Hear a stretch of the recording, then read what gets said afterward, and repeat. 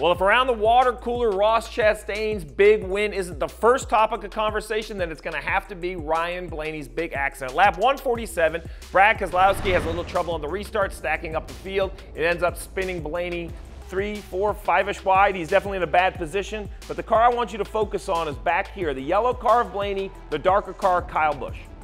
Yeah, as you look at this rolling forward here, check up, they're pretty wide. Blaney checks up, Kyle Busch gets in the back of them. to sl slide through here. But really, let's talk about how this impact right here with Blaney. Uh, it's not just one that happened. He was trying to drive his way through this. Well, I think that's the key. So I'm going to draw right here on this. What's interesting is I think we all expected the car to more head in this direction right here, right? Spin out of the grass down into towards into turn one. Instead, it took this hard left-hand turn. Blaney even talks about it. After he gets out of uh, the infield care center, he talks about how he was driving this car. So let's zoom in a little bit. I think people think this driver is along for the ride. Ryan Blaney's doing anything but. He is driving this car, unfortunately, all the way to impact. Yeah, he was. And, and if you look at this, as it comes out, the trajectory looks like it's going to be, but it hooks there. It hooks left. He's got the wheels turned right. He's trying to get out of this.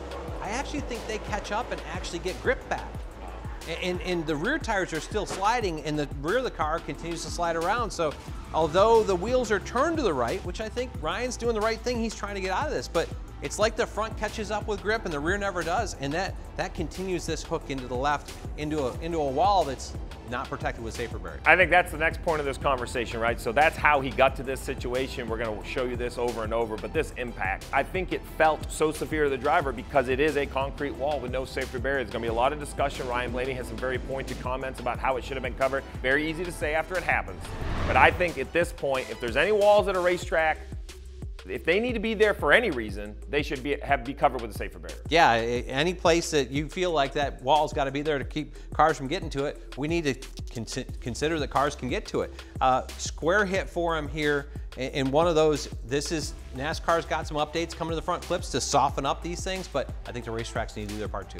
Safety, it's more than just the car. The drivers have a hand in it, the car has to match that, and the tracks as well have to keep up with safety. But luckily for Ryan Blaney, he was okay. And the other good thing for Ryan Blaney is with that win, it's not about points. He knows he's in the playoffs. But we are getting to that point of the summer where the playoffs and the points are a conversation. No bigger conversation, perhaps, than Chase Elliott, his position in the points, and can he make the playoffs?